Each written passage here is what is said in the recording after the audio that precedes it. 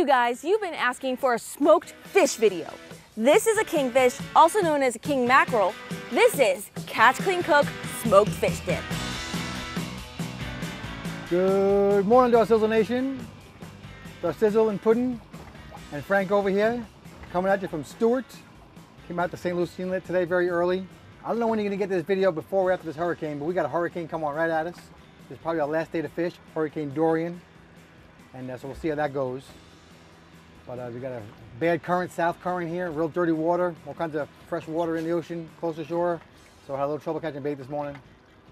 And now we're just drifting off what we call Loran Tower. Got some baits down the bottom. Darcy and Frank are fishing on the bottom. And I got two flat lines, that means lines just on top for more pelagic fish. So we're gonna see what happens here. If you're new to the channel, our motto is Fish, Dream, Inspire. We quit our jobs about three years ago now. Hopefully inspire some of you guys to do the same or follow whatever your dreams are. Through fishing mainly. Hooked up! Just kidding. Oh, you see what she did, guys? oh, she got me good. We're also rebranding Frank. He's my new best friend. Uh oh, this is bait. It might be because he lives in a big cement high rise which has electricity all the time Yeah, and air real- conditioning when there's hurricanes, Reel him up. but don't mention that. He's right here at the engine. Doubled up. First fish of the day coming on board. Well, they're not here yet. Both Frank and I are bottom fishing. I hooked up, and then shortly after that, Frank hooked up. We're gonna see what it is, but we're breaking off the skunk so far. Can't complain. All right, my weight's coming up. Hand on my big old leader. Hey, look at that. Little sea bass. Two little sea bass. Check that out. Frank got a little baby, super cute. Oh, he just threw the hook. And I got a nice one. That's not a keeper, but that's a nice black sea bass. There we go. Circle hook just popped out the corner of the mouth. Cute little guy right there. Really good eating. We just need to get them a little bigger. He's a little on the small side. Let's get him go. Bye. It seems like we went through a school of sea bass, so let's get our lines back down there. Wow, pretty amazing. Came across a school of bonitas on a color change. Hopefully be some other fish here, so we stopped and drifted some baits. Every day you come out here, it's another adventure. That's why fishing's so much fun. Wow. Bonita party. Very unusual to see them this close to the boat. Usually they run away or go down low.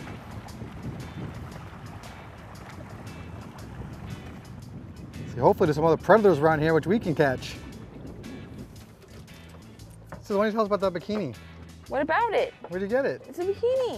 You don't want to tell us where you got it? No, Why not? isn't that sponsored by them? If you want to know, direct message me on Facebook and Instagram and I'll tell you. But um, yeah, I never owned a pink bikini. I don't think anybody's ever seen me in a pink bikini. So I was like, this is cool. I like this one. So I bought it. It's very bright, vibrant, like me, like you. Cooking it. oh gosh. Oh gosh.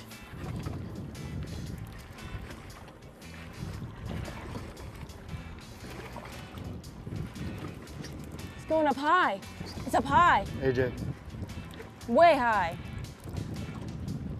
It's gotta be a king. Hooked up. We're just moving from spot to spot here, trying different things today. That's what you have to do. You gotta keep moving around to try and find a fish. So I just hooked a, fit, a, a fish on bottom with my live bait, a li- little live goggle eye, coming to the boat right now, but it swam up. So it's making me think it's not your, your typical bottom fish. Well, we're gonna find out. Here we go. Here's my leader. Yeah. It's not done yet. Saw the boat, it didn't like that. Oh boy, it's on the other side.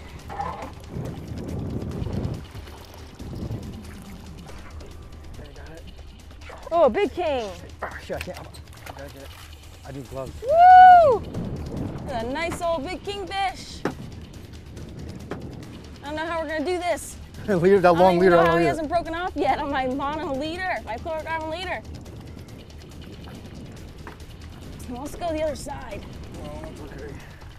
Circling around the boat, keeping the rod tip real low so I don't cross the prop or break them off on the boat.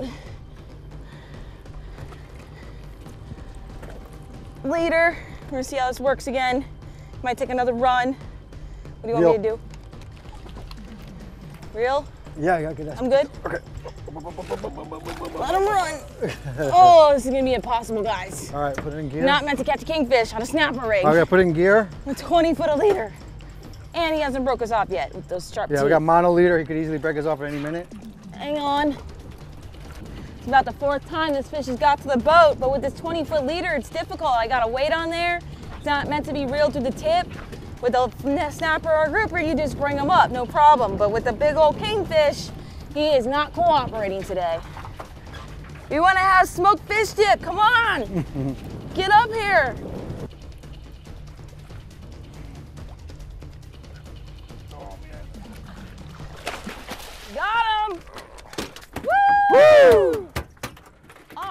Oh, man. Solid king. Heck Putting yeah. on the gaff. Oh, that was a close one. That was hard work. Look at that circle hook. Look at that circle hook. Just goes to show you, a circle hook is right in the corner of that guy's mouth. It is not going anywhere, and that's how he didn't cut us off today. Look at that. Actually, he already cut through the line. The circle, the circle hook's just like hanging out right there. But that's a solid kingfish. Yeah, it is. He's fat. Nice. We got a fish in the boat, and we got dinner. I was getting worried there. it's been a struggle out here. So that's fishing. Let's pop this uh, hook real quick and I'll hold them up for you guys. All right, there's my kingfish on my snapper rig. He's pitting up a ton of fish right now. Fat kingfish right there. He was hungry. Pretty cool to catch them on the snapper rod with no wire whatsoever. It's a pretty freaking cool, beautiful fish. And if you get them on ice properly and take care of these fish, they're quite tasty, especially on the first day you catch them. But this guy's probably gonna be smoked kingfish dip, cast clean cook, king mackerel. Okay, getting the kingfish on ice, he's mostly dead now, but I got some pictures with him. You know, your YouTube job, gotta get some pictures with your fish. But I'm gonna try and bleed him, we're gonna see what happens here. Okay, so this knife is from Smith Knives. This is their bait breaker knife. And this is our new um, knife that we keep on the boat. And I'm just breaking the gills. All right, there we go. Bleeding them out in the bag. I'm gonna get him nice on ice and get him chilled down and he's gonna make some great fish dip. Look at those teeth. Whew. Good job, Darcizzle. We'll see you guys back at the house to fillet that fish. All right, y'all, we made it back to the house safely. It's now time to fillet our kingfish. It's getting a little late in the day, so I'm gonna try and knock this out while you can still see me filleting, and I won't cut myself. In my 165 quart grizzly, we have got our beautiful king. We actually weighed him when we got home. I believe he weighed like 18 pounds, so I was pretty accurate on the boat, but it's a solid fish and a heck of a way to catch him on a snapper rig. That was wild. So, a lot of you guys have been asking in the comments. I no longer am using Bubba Blade knives, Bubba knives, just so you're aware. I'm using Smith products. These have been around since 1886. This company has been around since 1886. They normally make knife sharpeners, but they're starting to make a lot of fillet knives as well. Super sharp, love this knife. This is their seven inch saltwater fillet knife. So, actually, left-handed, let me flip around. We're just gonna make a cut. Kingfish is actually a really, not a very tough fish to fillet, mainly because of the fact that it doesn't have really tough scales and it's really easy to fillet it off, but you still need a sharp knife. So I'm just following the backbone. You see I'm keeping the knife underneath. Just working my way down. Then we get to the tail section. You see I just popped the knife through. We're gonna get that out of the way. Done. And then same thing, we're just gonna continue to follow the backbone and get our beautiful fillets off.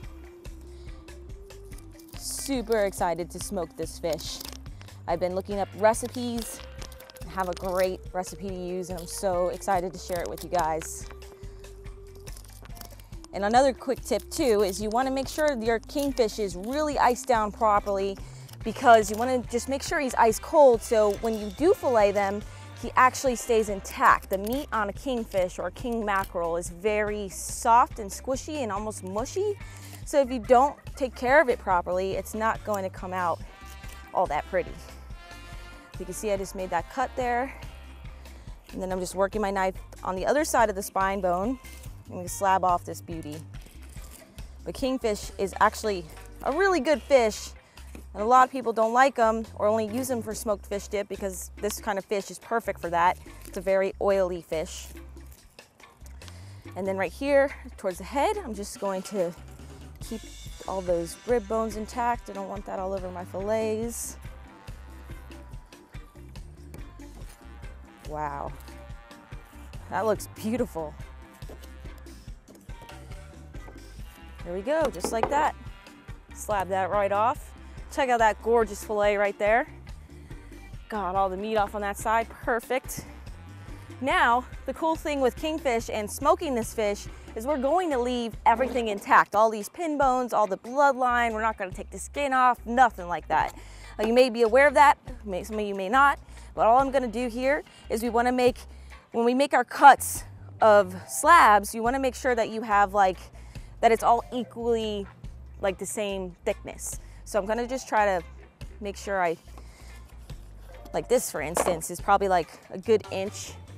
You can see how thick it is throughout the whole entire cut. So when you make your cuts, just do it so it's even. So right here is a one inch, beautiful cut.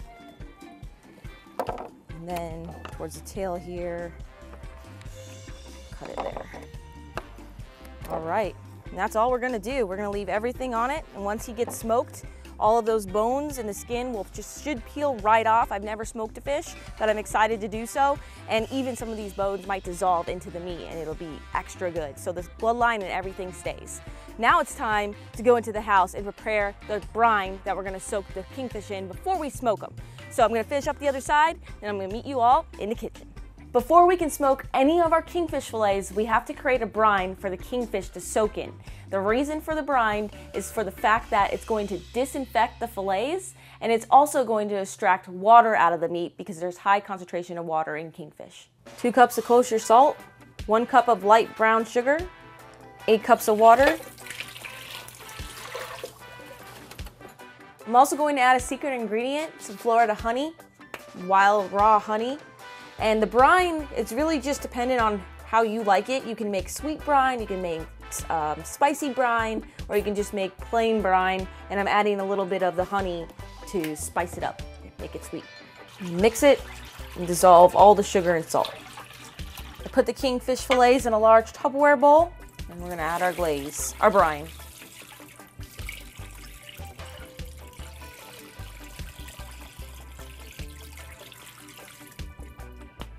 You just want to make sure the fish is covered like so. And you actually, do you see that? Like the fish is trying to float. That means we used enough salt. So that was perfect. So if it starts to float like that, that's a good sign. Now we're gonna cover it and store it in the refrigerator for 24 to 36 hours.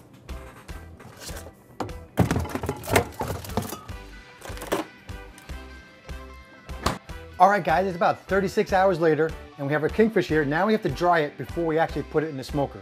You'll notice we have two bins here. That's because we actually ended up doing two different recipes for the brine. This is our first time doing it as well, so we're gonna try something different. And I guess maybe whichever one works out best, then we'll let you know at the end. But right now we gotta put them on these racks to dry them. So I'm just gonna spread them out on these racks. We have paper towels on the bottom of the racks in these pans. One very important step is that you are not going to rinse these off with fresh water right now. Now that you have them all in a rack, you're just gonna pat them dry with a towel And I'm gonna put them in the refrigerator for three or four hours.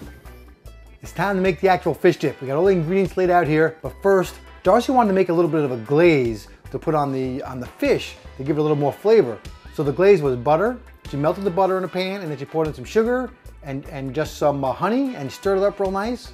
And it was almost like caramel, so that was really cool. Then it was time to put this thing in the smoker. And we got the smoker on Amazon, and, and of course it's gonna be in Darcy's Amazon store. Here's the link right here.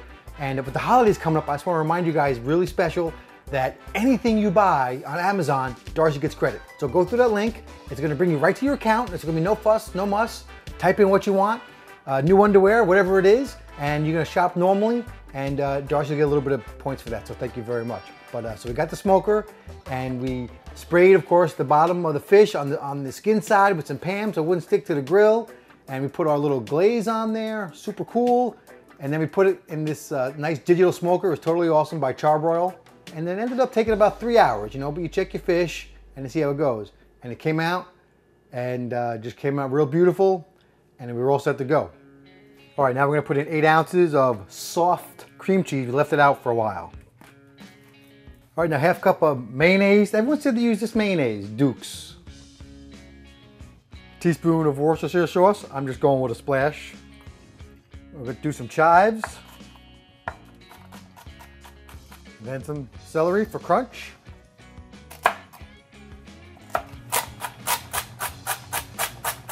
All right, we're gonna add some jalapeno pepper, but I'm gonna take out the seeds and the ribs because Darcy doesn't like it too very hot. About half a red onion.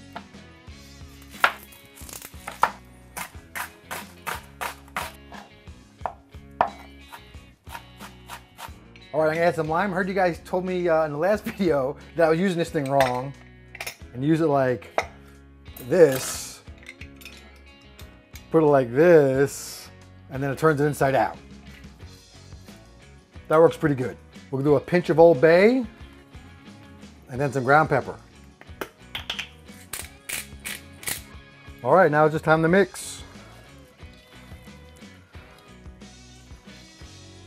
And that's it, guys. Now we're ready. You got a perfect appetizer to enjoy with your Landshark Lager. Yeah. Let's dive in. I gotta take a sip of my track first. Yeah, yeah. I like to put the jalapenos on here. Look. Yum, yum. Yeah. Mmm. Mm-hmm.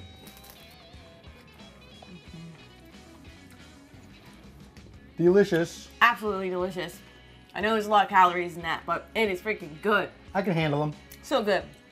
And it was really fun experiencing the smoker for the first time ever and smoking fish or any meat for that matter.